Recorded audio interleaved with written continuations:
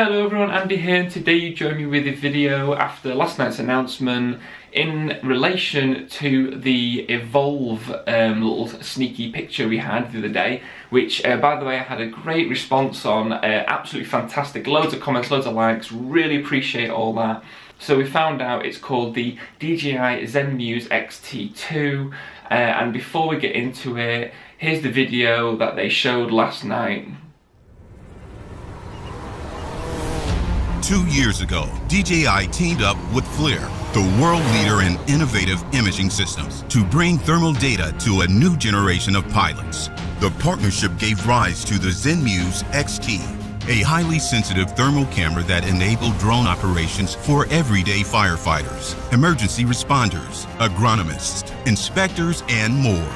To enhance the capabilities of these new pilots, DJI and FLIR are back again to bring you the ZenMuse XT2, the ultimate thermal imaging solution that packs twice the power through a dual sensor configuration, pairing a radiometric thermal sensor with a 4K visual camera. The XT2's dual sensor setup lets pilots do more in less time, collecting easily comparable visual and thermal data in a single flight. Utilizing the XT2, we're able to rapidly assess every solar panel on our project, while simultaneously monitoring structural components and the environment as well. The dual sensor capability is a game changer. It provides all the data we need to schedule site maintenance in one flight, significantly increasing our productivity. Working behind the dual sensors is a set of processors that enable the XT2's machine intelligence. This onboard intelligence gives pilots a host of smart features that turn the XT2's vast stream of thermal data into actionable insights even while the drone is flying. Never miss the heat with Temp Measure, allowing pilots to get detailed temperature data in real time. Quickly interpret this complex thermal information with FLIR MSX technology and isotherm controls, letting you overlay visual data on top of thermal imagery and fine-tune your real-time view. It's very important for us to be able to confirm quickly what we're seeing on the thermal view. With these new real-time visualization settings, we can immediately interpret this aerial data and quickly make detailed tactical decisions on how to proceed with our rescue operation. Maintain safety in challenging flight scenarios. The XT2 automatically locks onto the highest temperature within the frame with Heat Track or any desired object with Quick Track, giving you the freedom to focus on the mission at hand.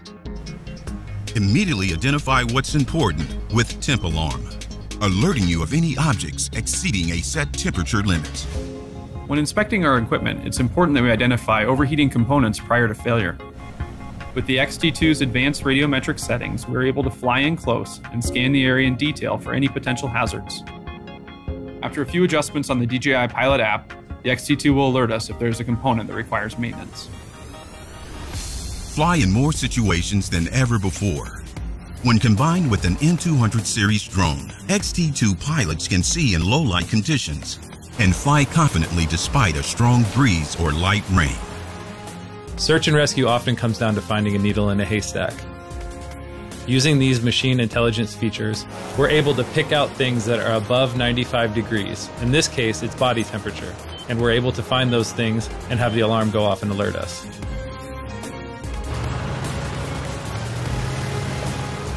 The XT2 allows us to save time, and when we save time, we save lives. Whether it's flying high for inspections of solar panels or saving lives on the ground with rescue teams. The XT2 sets the industry standard through a combination of powerful sensors and onboard machine intelligence to give you meaningful results. Welcome to the next generation of aerial imaging.